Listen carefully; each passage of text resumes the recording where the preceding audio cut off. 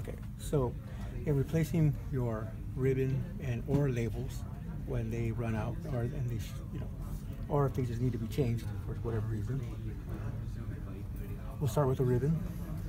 You open up the print head. Just get a little slack here. Slide this thing out. Slide the ribbon out.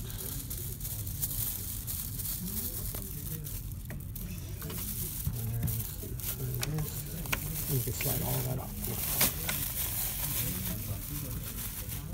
Okay, so this is how you, you turn and you depress these right here, these little guides.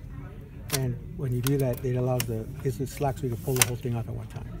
And that's why we don't tape it to the spindle. That's removing the ribbon. And removing the labels, just like this. Being that you have your print head open, just slide this out, and there you go. Now it's now it's totally empty, and, and we're gonna do the install. So, all right. So to install, we go put your ribbon in, I mean your uh, labels in, and you'll see that there's a little diagram right here along the dot. There's dotted lines right here, and then you just slide this in right here, guide it through.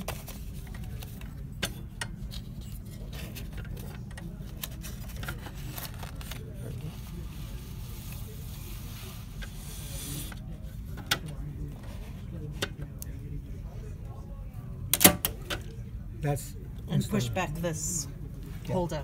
Oh, he's he's already back. Okay. Yeah. Okay, so that's the labels. Now for the ribbon. Do you need to tear off the front label there? You can. So with the ribbon, we go. We're gonna start new again. Break it. If you follow the, the diagram right here, it shows you that it the ribbon will go like this.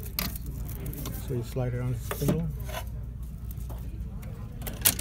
and go underneath the print head. Pull a good portion. Lock it down.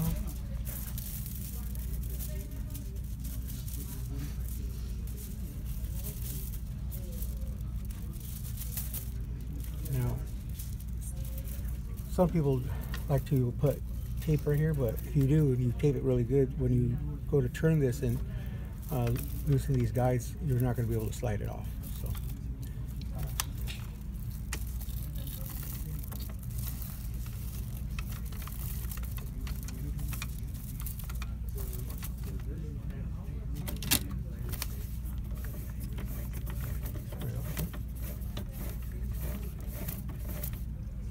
There you go.